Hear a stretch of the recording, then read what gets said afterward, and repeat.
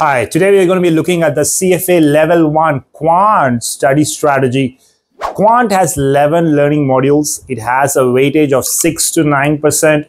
Some of the quant topics have been moved to the prerequisite. I have created a video about the prerequisite. If you want to watch that, click there. And now, looking at these 11 topics, how should we attack it? Should we all think about all 11 equally?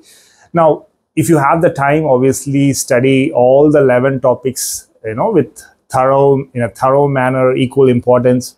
However, if you want to strategize how to go about this, the first five learning modules, right, starting with your rates and return, all the way to your portfolio mathematics, I would like to call that as basic statistical concepts. It talks about what is mean, what's standard deviation, what's the, what are the types of rates, uh, time value of money, very key concepts.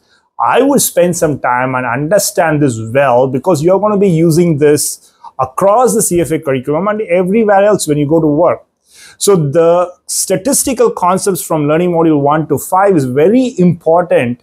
Amongst these five, time value of money is the most important one. So definitely uh, pay some special attention when you're looking at time value of money. This concept is going to be used when you are doing equity, when you are going to be studying for fixed income, economics even, obviously in derivatives. So focus on this one, spend some time you know, in the curriculum looking through some of the examples as well.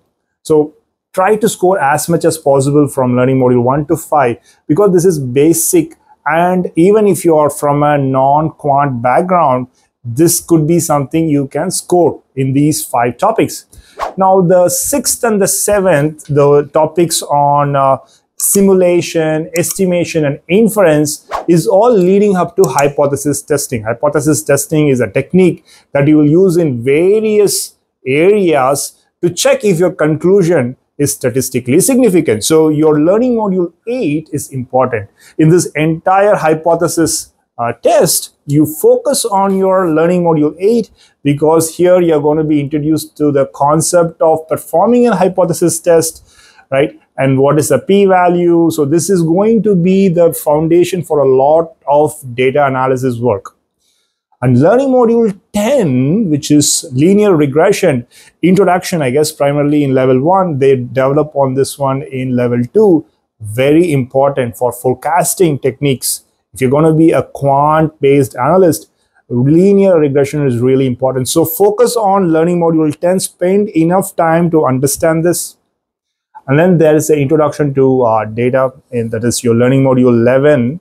Uh, that's mostly theory, uh, the, data, the big data techniques. Uh, you can spend a little bit of time, not so, you don't have to worry so much about that. So I would say learning module 2, very important, but the entire learning module 1 to 5 is critical that you score as high as possible, as close to 100% as possible. Then focus on hypothesis testing learning module 8 and regression, which is learning module 10. Okay, so that should be the attack strategy. Uh, quant is something that a lot of students from the accounts and commerce background have some difficulty. So this could probably be a way to tackle it. I refer to this slide for you know the areas you should focus on. I've also said that learning module four, which is the topic on uh, the probability tree, the particularly the Bayes formula because that's such an important concept and you should expect a question from an examination perspective understanding Bayes formula how to apply it is critical. So maybe uh, if you have to choose another topic in the 1 to 5, focus on probability theory. Hopefully this helps you crack quant. If you have any questions, leave a comment below. All the very best.